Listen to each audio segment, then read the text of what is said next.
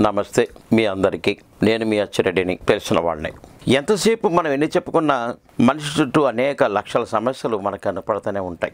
ఒక్కో సమస్యకు ఒక్కో తంత్రం కాదని ఒక్కో సమస్యకు పన్నెండు వందల తంత్రాలు ఉన్నాయి. కాబట్టి ఎన్ని చెప్పినా కూడా మీకు తక్కువే అనిపిస్తాయి. విని విని ఎవరిని పారిపోయినాడు కోసం చెప్పారు? భార్యాభర్తలు కలగటానికి చెప్పారు? ఇవన్నీ చెప్పినాయి కదని మీరు అనుకుంటున్నారు. అందరూ అన్ని రకాలు చేయలేకపోవచ్చు అందరికీ అన్ని రకాల వసతులు అక్కడ లేకపోవచ్చు. అందుకోసం రకరకాల తంత్రాలు మీకు నేను చెప్తానే ఉంటాను. ఎవరికి తగ్గట్టు వాళ్ళ తంత్రాలు చేసుకుని మీరు చక్కని ఫలితాలు పొంది మీ కుటుంబ జీవితాన్ని వృద్ధిగా చేసుకోవచ్చు. భార్యాభర్తలు ఒక్కొక్కసారి ఏం జరుగుతుందంటే అతి చిన్న గొడవ. ఇది ఆ ఇద్దరి మధ్యనే జాగ్రత్తగా ఉండి సర్దుకుపోతే చాలా బాగుంటుంది. ఎప్పుడైతే ఈ సంసార ఇద్దరి మధ్యన ఉన్న గొడవ పడక గదిలో ఉన్న సమస్యను తీసుకొచ్చి బయట పెడతారో మూడో వ్యక్తి ఎప్పుడైతే ఎంటర్ అయ్యాడో ఈ మూడో వ్యక్తి ఇద్దరికీ న్యాయాన్ని చేకూర్చలేరు ఎప్పుడు కూడా. పక్షపాతంగా అమ్మాయి తరపునో అబ్బాయి తరపునో మాట్లాడటం. మాట్లాడిన తర్వాత అబ్బాయి తరపున మాట్లాడితే అమ్మాయి కోపం రావటం అమ్మాయి తరపున మాట్లాడితే అబ్బాయి కోపం రావటం వాళ్ళు మరో వ్యక్తిని సంప్రదించటం. వీళ్ళు వాళ్ళు వేరువేరుగా సలహాలు ఇవ్వటం వల్ల ఇద్దరి మధ్యన గొడవ ఇంతింత ఇంతింత ఇంతింత కొండంత అయి ముదిరిపోతుంది. ముదిరిపోయిన తర్వాత ఏం చేస్తారు? ఎవరో తెలిసిన లాయర్ దగ్గరికి వెళ్ళి సంప్రదిస్తారు. అక్కడ ఏం సలహా ఇస్తారమ్మా?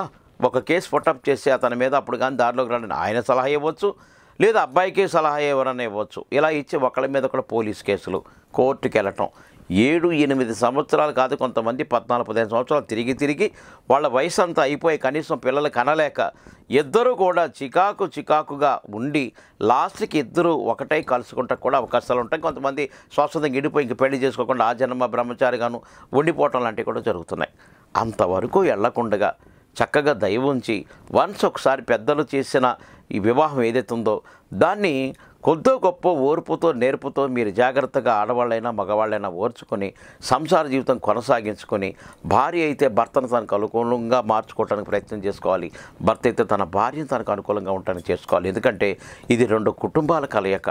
దీనివల్ల రెండు కుటుంబాలు మీరిద్దరూ వీళ్ళిద్దరూ దెబ్బలాడుకున్న వీళ్ళు బా వెనకాల ఉన్న తల్లిదండ్రులు అక్క చెల్లెలు అన్నదమ్ములు ఎంత మానసిక బాధకు శోభ అనిపిస్తారంటే అంత మానసిక బాధకు శోభ అనిపిస్తారు అలాంటి వాళ్ళ కోసం నేను ఒక ప్రత్యేకమైన తంత్రం చేస్తున్నాను. అది ఏమీ లేదు. పంచలోహంలో డబుల్ హార్ట్ రింగ్ అంటాం.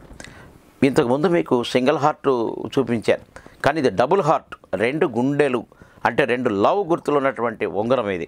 పంచలోహంలో తయారు చేసుకొని ఏ వ్యక్తికైతే కావాలనుకుంటున్నారో ఆడైనా మగైనా వాళ్ళ యొక్క జన్మ నక్షత్రం నామ నక్షత్రం రోజున కానీ లేదా వాళ్ళు వివాహ రోజున ఏ వారం ఉందో ఏ తిథి ఉందో చూసుకుని ఆ తిథి రోజున కానీ చక్కగా ఆ ఉంగరాన్ని తయారు చేయడానికి ఉదయాన్నే తలస్నానం గావించుకొని సూర్యోదయానికి ముందే ఆ ఇష్టదైవం దగ్గర ధూపదీప నైవేద్యాలు సమర్పించుకొని ఈ డబుల్ హార్ట్ రింగ్ని ఏదైతే తయారు చేసి పెట్టుకున్నారో అది దేవుడి దగ్గర పెట్టి ధూపదీప నైవేద్యాలు సమర్పించుకున్న తర్వాత చూపుడు లేదా ఉంగర వేలుగు పెట్టుకుంటే అసలు ఇద్దరి మధ్యన ఎలాంటి గొడవ లేకుండా అన్యోన్యత దాంప జీవితం కలవటానికి ఎక్కువ ప్రయత్నం చేసుకొని ఇద్దరు ఒకరి మనసు ఒకరు తెలుసుకొని అయ్యో సారీ నేను నేను బాధ పెట్టాను భర్త అనొచ్చు లేదా ఏమండి మిమ్మల్ని మనసుకు బాధ కలిగే మాటలు నేను అన్నాను క్షమించండి అని ఆవిడ అనొచ్చు. ఎంత చక్కని తంత్రం అంటే ఇది.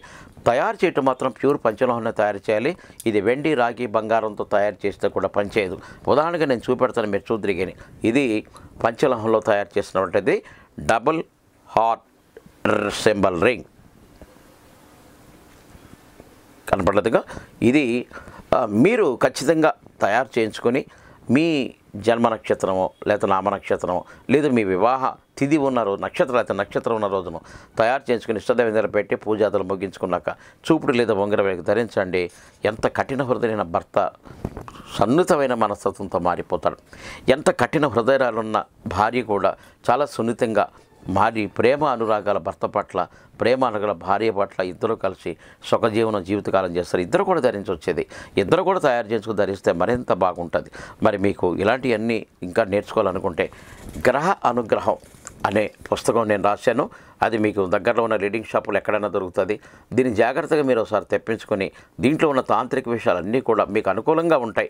ఏ గ్రహం అయితే వ్యతిరేకంగా ఉంటుందో ఆ గ్రహాన్ని ఎలా అనుకూలంగా మార్చుకోవాలి అనేది ఏ పూజల ద్వారా లేదా మంత్రం తంత్ర ద్వారా ఇటువంటి అన్నీ కూడా ఇందులో మీకు పొందుపరిచి నేను చాలా క్రితంగా రిలీజ్ చేశాను. చాలా పుస్తకాలు మరోసారి మళ్ళీ ప్రింట్ చేస్తాం ఇప్పుడు ఇది సెకండ్ ఎడిషన్.